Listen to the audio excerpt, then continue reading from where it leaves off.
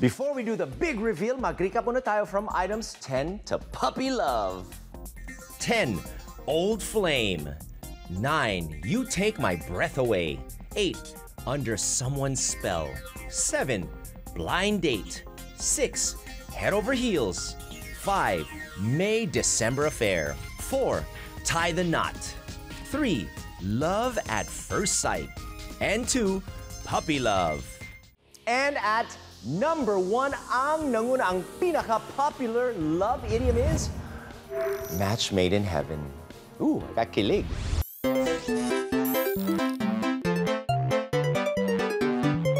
The idiom match made in heaven refers to that perfect combination of two people so well suited to each other that it seems divine forces may have had a hand in them pairing up. Sa iba't ibang cultures, so, lalo sa mga Chinese, in Asia, yung, mga, maski nga tayo eh, yung ating mga lolo't lola, mga tito, tita, mga matchmakers sila at some point, meron silang nakikita na compatibility. And this compatibility is beyond the physical. It's something destined by the universe. Kaya, it's a match made in heaven. Kasi syempre heaven, gugustuhin nating marating kung naniniwala ka man sa heaven. Pero pag sinabing match made in heaven, parang napaka-perpekto sa isa't isa. Wala kang masilip na negatibo sa inyong relasyon. Kasi ang hirap naman na masyadong hiwalay o, hi- o hindi parehas yung mga bagay na gusto nyo sa buhay. Lagi may struggle. Pero pag match made in heaven, ibig sabihin nun, mataas yung compatibility nyo, una.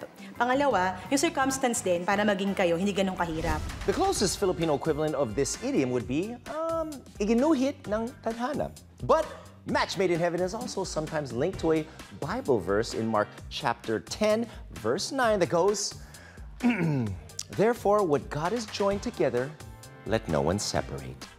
Yung match made in heaven, isip natin na ah, sana yung compatibility hindi lang sa inyong dalawa, kundi may blessing galing sa Diyos. Meron mga paniniwala na bago ka pa pinanganak, meron kang soulmate. At hindi natin makukontra yon, di ba? Yung mga paniniwala natin or yung superstitious beliefs natin. Pag universe nang nagsabi na, ah hindi, kayong dalawa, you're destined to be together. It's a match made in heaven. Ganyan, no? Huwag na nating kontrahin. Di ba sa kasal, sinasabi ng dalawang sumusumpa, till death do us part. Pero ang match made in heaven, kahit may death, kahit sa langit tayo pa rin ang magkasama. Hindi nagtatapos ang ating pagmamahalan sa lupa lamang.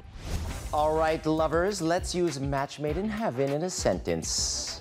Swerte at biyaya ang pag-ibig na match made in heaven. Ang pagmamahalan nila ay talagang ginusto ng tadhana. It's a match made in heaven. How we wish that marriages and relationships are matches made in heaven.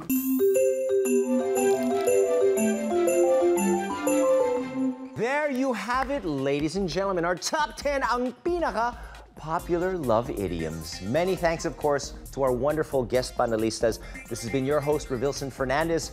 Like us, add us up. We have Facebook, Twitter, Instagram. We are all over social media. Let us know what you think.